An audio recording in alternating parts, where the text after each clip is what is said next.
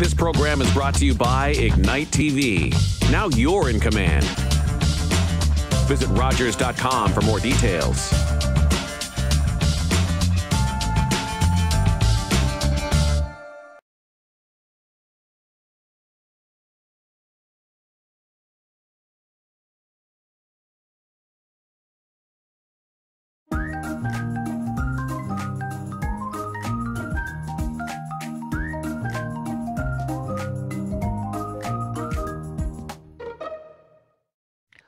Welcome to another episode of A Little Bit Fit with me, Karen Ross.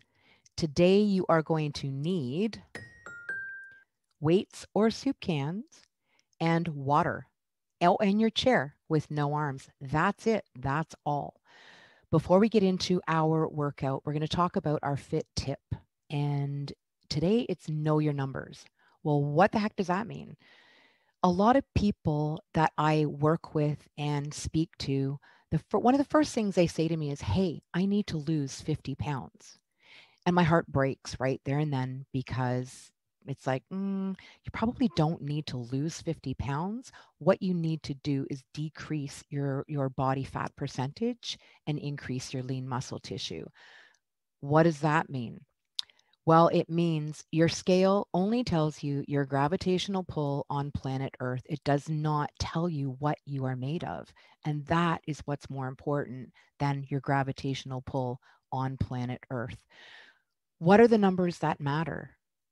Your body fat percentage, right? You need to decrease body fat percentage. If you have a lot of fluff like I do, you need to decrease your your body fat percentage. You need to increase your lean muscle tissue. You're not going to see a lot of change in the numbers on the scale really. Um, what about your internal numbers your blood sugar levels?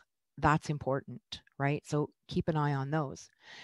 Your bad and good cholesterol those are important numbers. So keep an eye on those.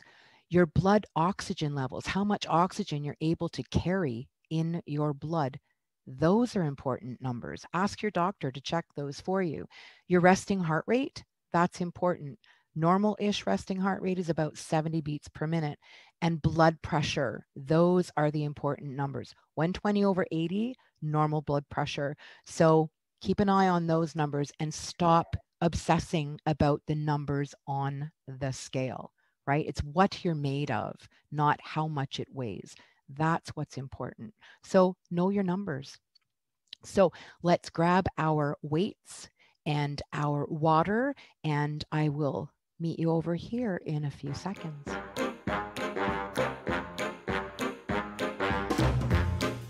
Okay, let's get moving. Let's warm it up. Nice and simple. Heel taps forward. Open and close those fingers.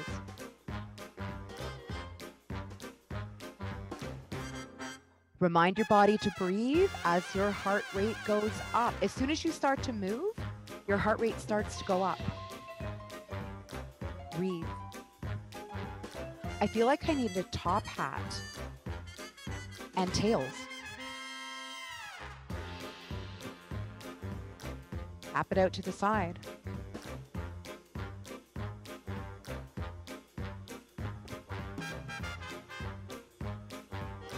With those arms. Just move and breathe, and you're doing this right.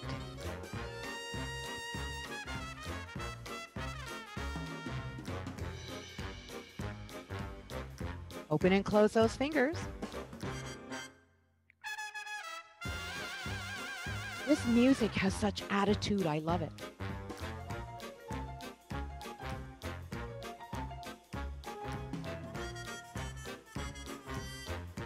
You're Betty Boop.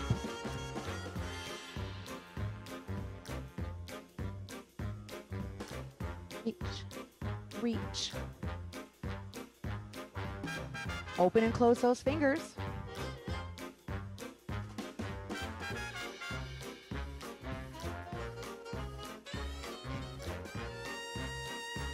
Little knee lift.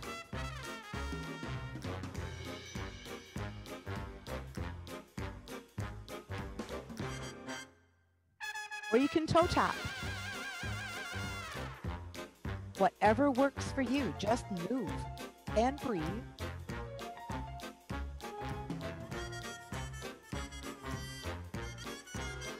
How about some kicks?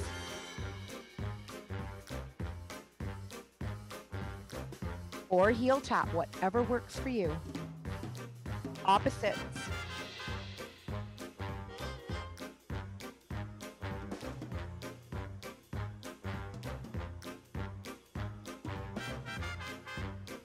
Back out to the side.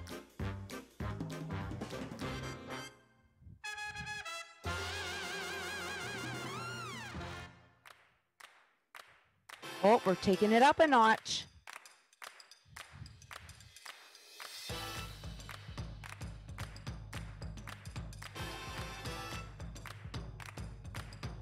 Little march.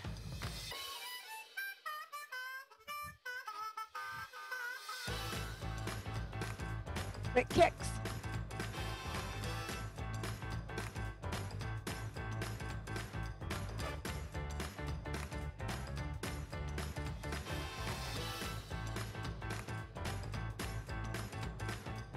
At those arms, whatever you want to do.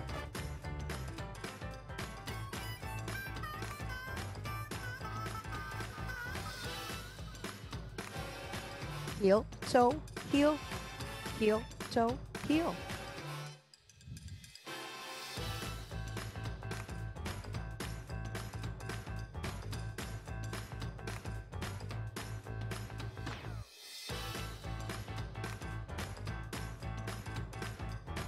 Breathe. Kicks. Or tap. Whatever works for you.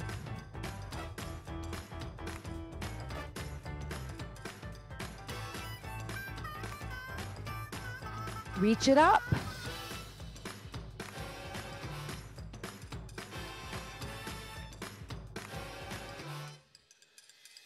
Drums.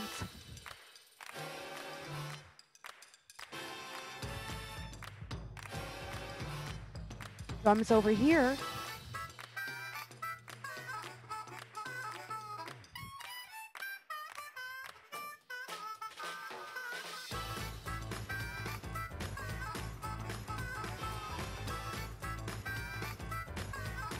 Just move.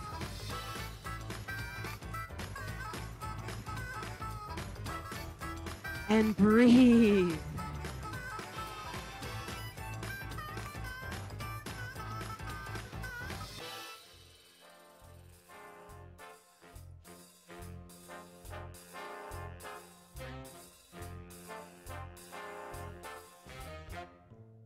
Just move.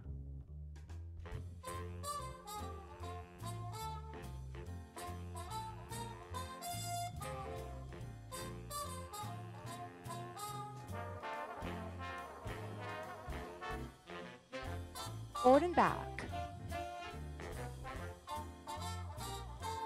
That heel toe.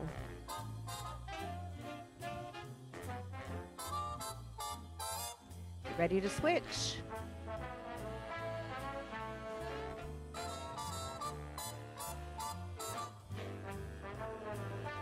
And switch.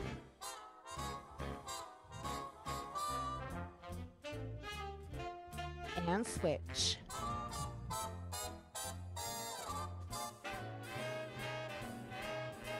Little sway side to side. Get the middle of your body moving.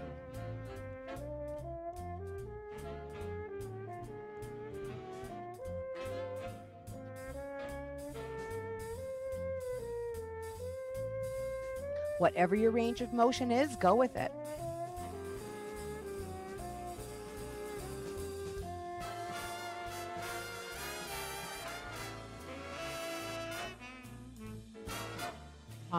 Palms up.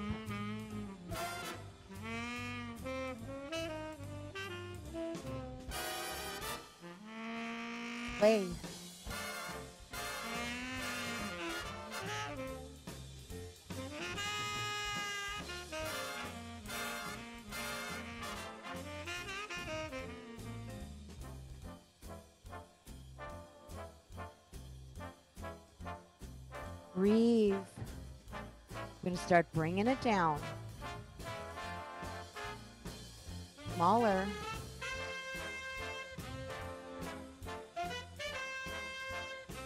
You can't go wrong with the sway.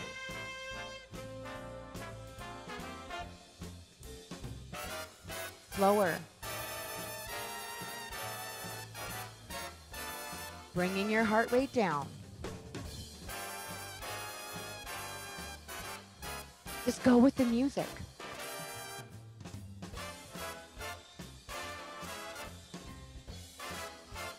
Breathe. Bringing it all down. And all the way down. Nicely done. It is time to get your weights or your soup cans. Please hydrate. I will practice what I preach, and I will see you back here for strength training in two seconds.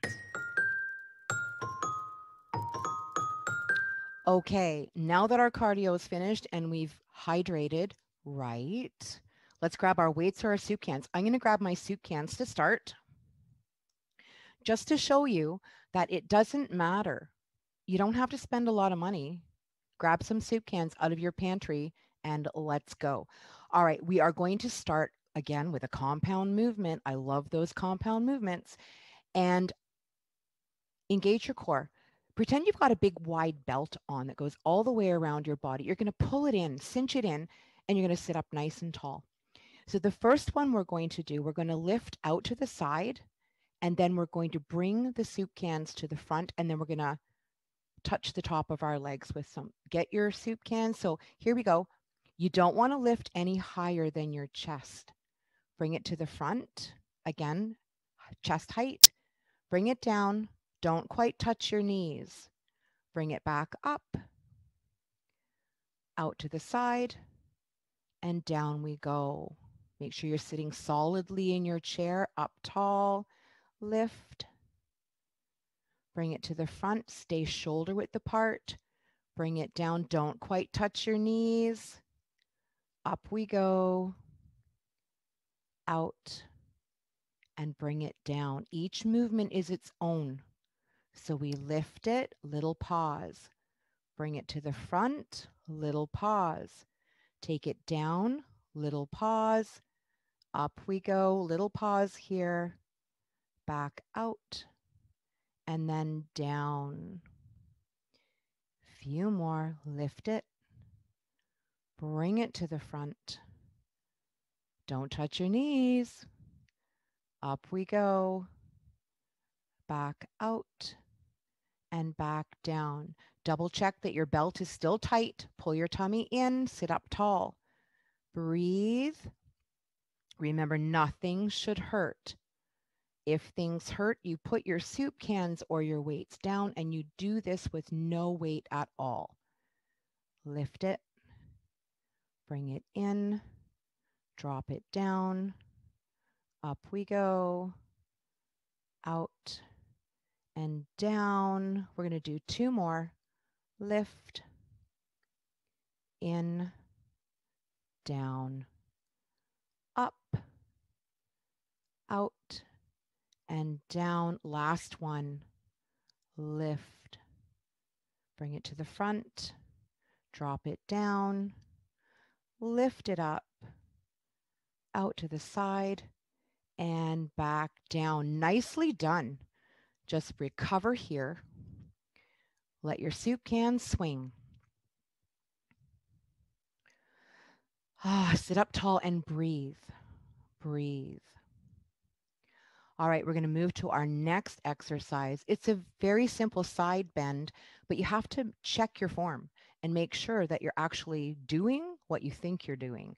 So I've got my soup cans. I'm going to drop my hands down to the side and what we want to do is we want to make this space from our armpit to our hip bone very small. So we're going to squeeze it shut as we do a little lean over. It's not so much of a lean over, but we're going to make this space small by contracting the oblique in the side of the body. Over we go and stand back up and squeeze it shut and sit tall. Squeeze it shut and sit tall. So you're contracting the muscle in the side of the body, making that space between your armpit and your hip bone very small. And you can hear that I'm literally squeezing that muscle so hard that I'm exhaling. I have no choice but to exhale there. Squeeze it.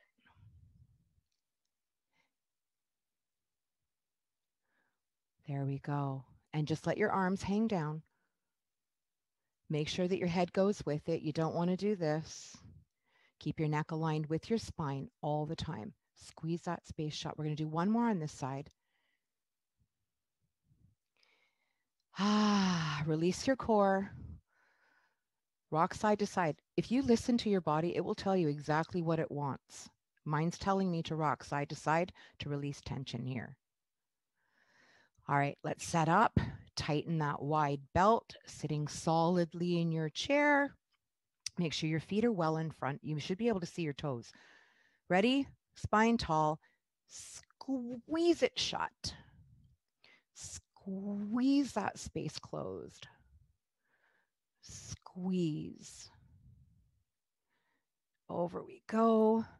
And as you can see, I'm not leaning over as much as I'm making that space in the small or the side of my body smaller. Squeeze. And it just makes sense to breathe out right here and breathe in when you come back up to tall. Breathe out, breathe in. Remind your body to breathe. Muscles need oxygen to keep working. So if you're holding your breath, they're going to quit. Lean it over. Over we go. We're going to do three more. There's three, two, last one. Over we go. And release your core and just swing your Supghans. Ah. All right, we have one more to do, but there's add-ons to this one. So I'm going to show you with just the soup cans, and then I'm going to add my leg to it. So you want to come to the front of your chair. This is called cat-cow. So we're going to make a cat back toward the back of our chair, and then we're going to push our chest forward. So it looks like this. Bring your weights to the front, make that round spine toward the back of your chair, and then you're going to push your weights behind you. Round your spine, bring the weights to the front, pull your tummy way in, and sit up tall. So you're rolling to the front of your chair, rolling to the back of your chair, front of your chair, pushing your arms behind you. And we're going to pause right here. I'm going to show you how to make it harder. So as we come forward, you lift a leg. Come back to here, alternate, lift the other leg, come back to here, and into cow.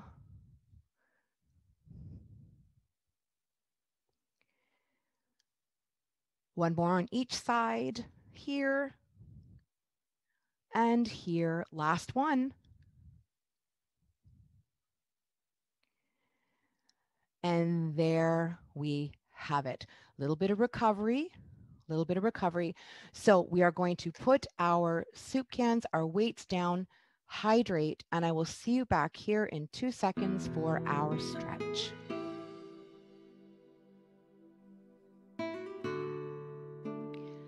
Okay, now that we've hydrated, we've done our cardio, we've done our strength, it is time to stretch a few really simple stretches. Please try to incorporate stretching into your everyday routine, whether you've worked out or not. Stretching is really important. We are going to start with our hip flexor. This muscle right here gets very tight because we sit for far too long every day. So I'm going to turn sideways in my chair please hang on to the back of your chair and this side of my rear end is off of my chair. I'm going to hinge forward. I'm going to reach behind. Make sure that your toes and the ball of your foot are on the floor. Keep this space closed for now. I'm going to start coming up Very slowly. As I do that, I drop my knee to the floor a little bit. So I'm stretching from my hip bone to the top of my leg and down through the quad. Do we want it to hurt? Absolutely not. Ever. Up tall. Breathe, because how long does it take for a stretch? 30 seconds. Breathe. Be patient. Be patient. Allow the stretch to happen. Don't rush through it. Breathe. If you find it difficult to do this from a low chair, sit on something higher. You just want to try to get your knee behind your hip a wee bit. I'm going to bring it forward. I'm going to close that space. Hang on to your chair. Bring your feet back together. Everything turns together. You don't want to torque your lower back. Take your time moving in and out of stretches, hanging onto my chair, leaning forward.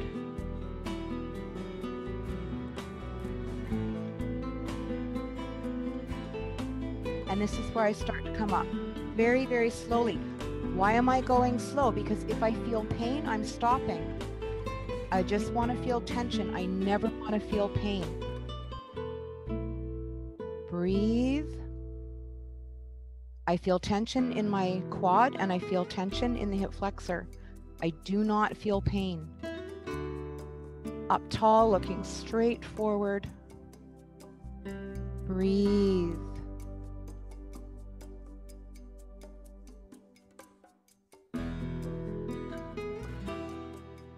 Let that 30 seconds tick by. Breathe.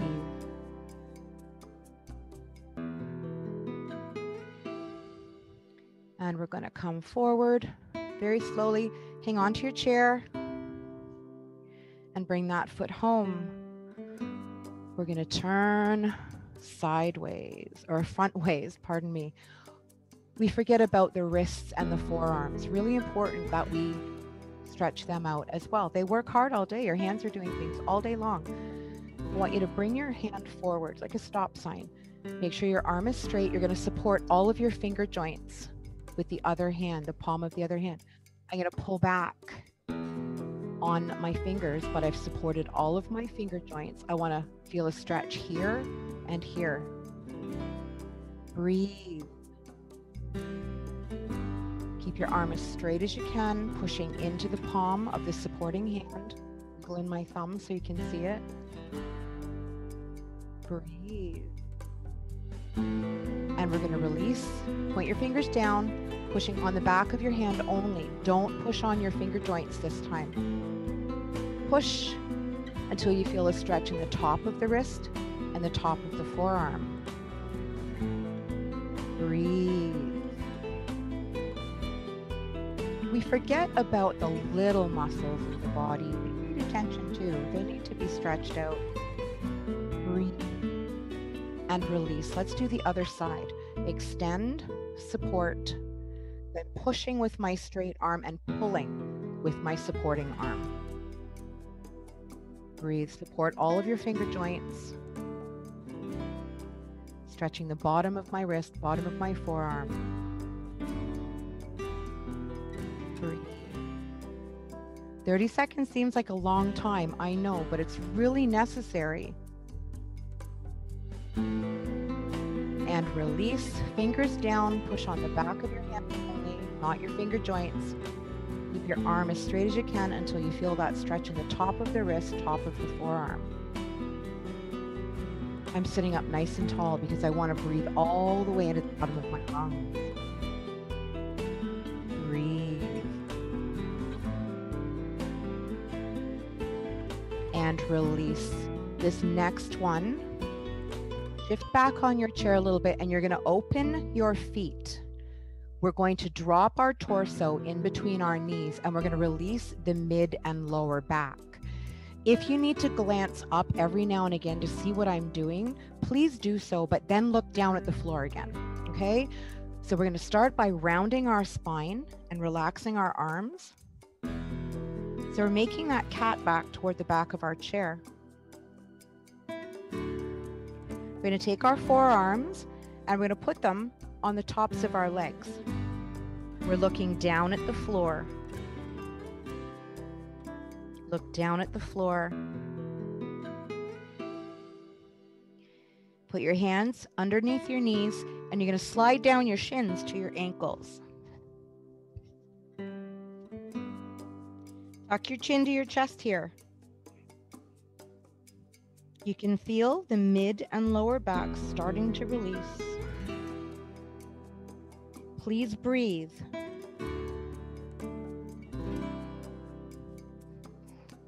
And if you choose, you can dangle your fingers toward the floor.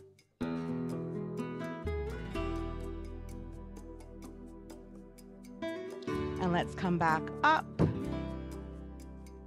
Breathe. We need to get the blood back to our brain. So breathe. Wiggle walk your feet back together. Neck. Tip your head, your ear towards your shoulder, and open up through the side of the neck. Never pull on your head. Keep looking straight forward.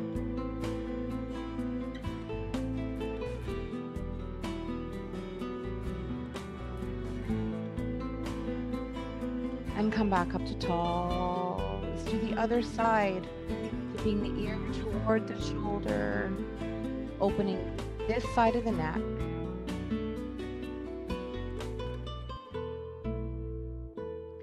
And come back up to tall. And we're going to drop our chin to our chest and push our face toward the floor. Let your arms relax. And come back up to tall. And take a big breath in and shoulders pressed down as you breathe out. And there we have it. So put your, uh, grab your water, have a sip of water, and I will see you in two seconds. And there we have it for another day. Great work, everyone. You should be really, really proud of yourself. You worked hard. Go hydrate. We're going to recap our fit tip of today.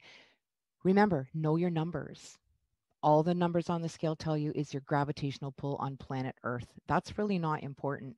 The numbers that are more important is how much body fat percentage you have, how much lean muscle tissue you have, your blood sugar levels, your internal numbers, your blood sugar. What does that look like? Good bad cholesterol. You want the bad cholesterol numbers to be very low. You want the good cholesterol numbers to be higher. Your how much oxygen do you carry in your blood? Those are the numbers that matter.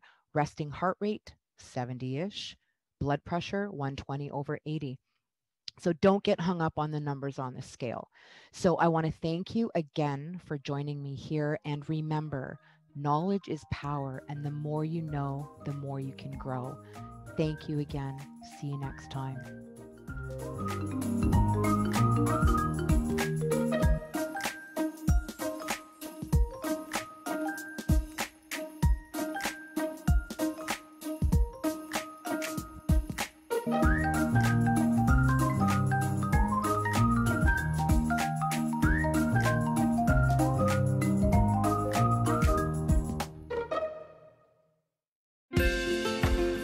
Call the Rogers TV viewer response line, email us, or connect with us on social media.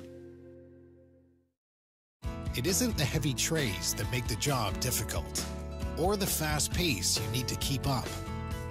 It's not working another double because someone called in sick. What makes the job tough is the moment you realize a customer has had enough and you have to make that decision not to overserve. Refusing service isn't personal, it's the law. We know it's not easy, but we're counting on you